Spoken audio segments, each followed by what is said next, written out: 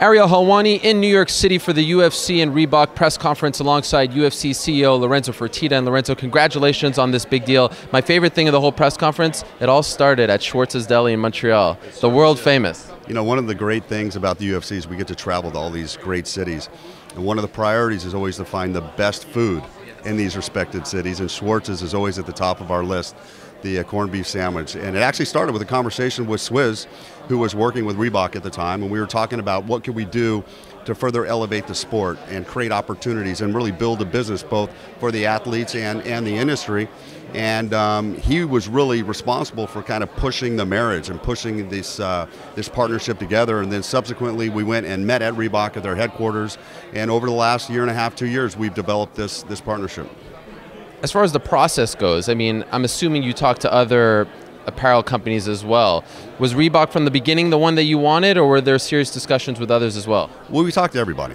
The thing we liked about Reebok was that their focus was more on training than any of the others, meaning that, yes, they still have their team sport with the NHL, I believe, but overall, their whole focus is uh, was and will continue to be CrossFit, which is personalized individual training.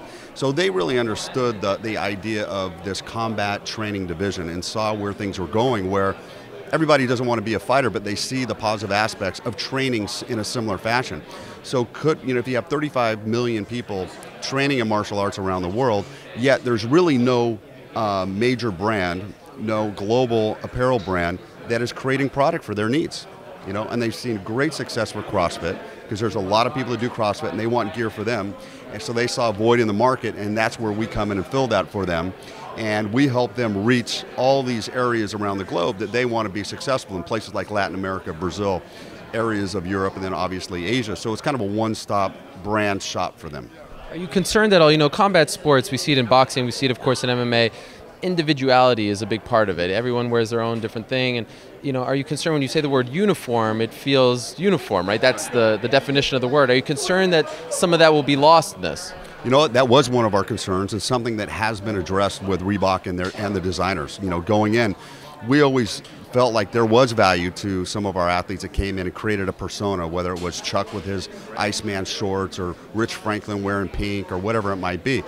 So what I think they've successfully done with what they've showed us is create a look that will signify that that is the UFC, so it's a point of differentiation for our product, but at the same time allow for fighter individuality. And you'll know kind of where the fighter basically is in the rankings and whether they're champion or not champion, maybe what country they're from or what their individual style is. So they'll be working with our, with our athletes to do that because then the most important thing of this all for both the athletes and for Reebok is that the product, they, they want it to sell at retail.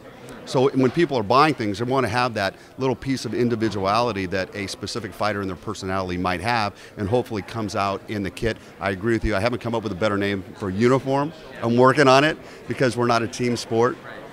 But there will be a semblance of order, I should say. And I'll be honest with you, I believe that if we're going to be or strive to be in the same uh, conversation as the major sports leagues, then we can't have you know guys running out with a mishmash of, of 1-800 radiators and you know dynamic fastener. It's just it's it's just it's tough on the eye and it doesn't look as professional.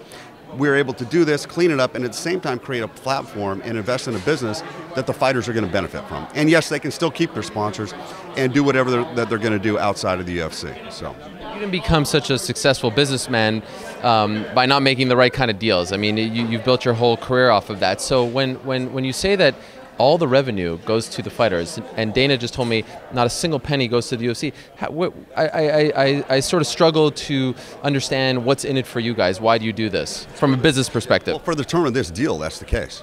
Now, do we want to make money eventually? Absolutely, but we've always had a long-term view. I'm hoping that 10 years from now, 15 years from now, we've built a big enough business at retail where there's going to be money, obviously, to share with the fighters that they're benefiting, and there's going to be some money left over for us. Same principle when we started this and bought the company in 2001. Me and my brother funded this thing for about six years, and the money we invested there has now benefited the fighters and benefited us. So we got to the point where we got past that breaking point, but it was never a six month investment or a two year investment. We had the long term view. And you can't just turn something, you know, the faucet on overnight and, and, and expect that there's going to be enough revenue there for everybody. So we decided, you know what? we already have this ecosystem where fighters are allowed to make money by, by having sponsors and wearing them into the octagon. We're not going to disrupt that, even though I'm sure that's what everybody thought we were doing. Believe me, we're not, we're not like that.